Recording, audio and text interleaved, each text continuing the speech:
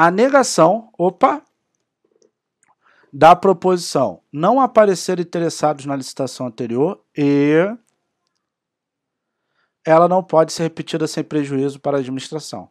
Está corretamente expressa por aparecer interessados na licitação anterior ou ela pode ser repetida sem prejuízo para a administração. Meu Deus, como é que eu vou fazer isso, Renato? Gente, não precisa do texto. Por quê? O problema ele já te falou que é de negação. E ele já dá a frase aqui e quer saber se a resposta é aquela, tá bom? Pegou a visão? Pula o texto, vai direto para o item. Pessoal, no raciocínio lógico, existe uma parte chamada negação também. Essa parte que é chamada de negação, cada conectivo tem um jeito de negar, tá? E aí, eu vou te ensinar aqui agora como você faz para negar o E. Como se faz a negação do E, tá bom? É isso que eu vou te ensinar agora. Negação do E, tu faz isso daqui, ó. Troca pelo ou e nega tudo.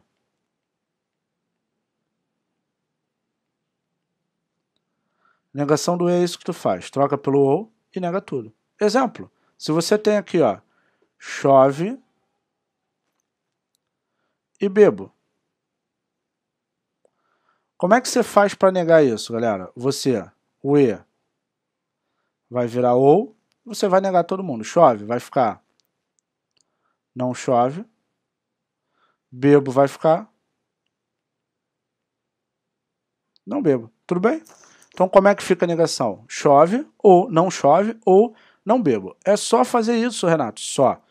Ah, qual é o método tradicional? O método tradicional você pode vai ter que achar a tabela verdade. Pelo amor de Deus, Foge disso, escuta o que o pai está te falando. O pai quer teu bem, né? Beleza? Show de bola? É só fazer isso.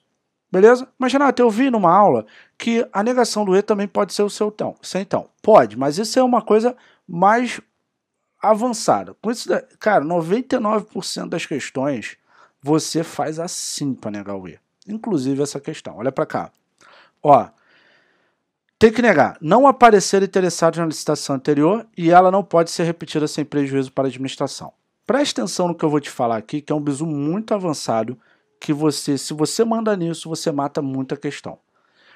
Olha para cá. Quando prova de CESP, se você vai negar o E, obrigatoriamente ele tem que virar o OU.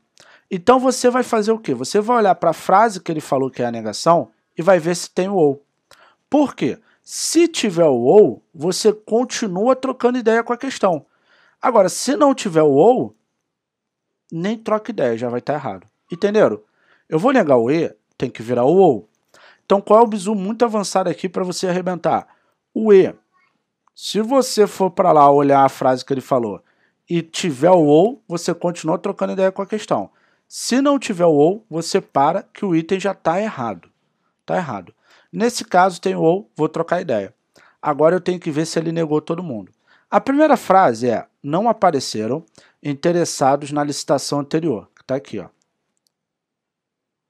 Não apareceram interessados na licitação anterior. Como é que eu nego isso? Tem que ficar apareceram interessados na licitação anterior. Tá certo. Essa parte, ok? Negou. A segunda parte, ela Vou botar até de outra cor aqui, ó, de verde. Ela não pode ser repetida sem prejuízo para a administração. Se eu negar isso, vai ficar como? Ela, eu tenho que tirar o não. Ela pode ser repetida sem prejuízo para a administração. Opa!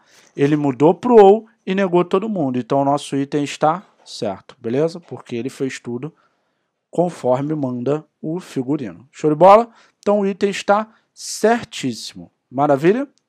Opa, gostou dessa dica? Então, se você quer acertar 80% ou mais na prova de raciocínio lógico da INSS, então você precisa vir para o grupo dos 5% no nosso curso para o INSS. Tá aqui o link na descrição para você fazer a sua matrícula e chegar ao seu próximo nível no raciocínio lógico gabaritano e usando a seu favor. Você sabia que 95% dos estudantes saem do ensino médio sem um conhecimento adequado? E apenas 5% têm esse conhecimento adequado. Logo, são esses que passam no concurso. Então, se tu quer passar no concurso, você precisa usar o raciocínio ao seu favor. Então, ó, já clica aqui na descrição e faça sua matrícula no nosso curso do INSS e venha para o grupo dos 5%, um grupo de alunos que estão acertando 80% ou mais em qualquer prova de concurso utilizando o método MPP para gabaritar. Tamo junto, para cima deles e vejo vocês nas aulas do curso. Até lá!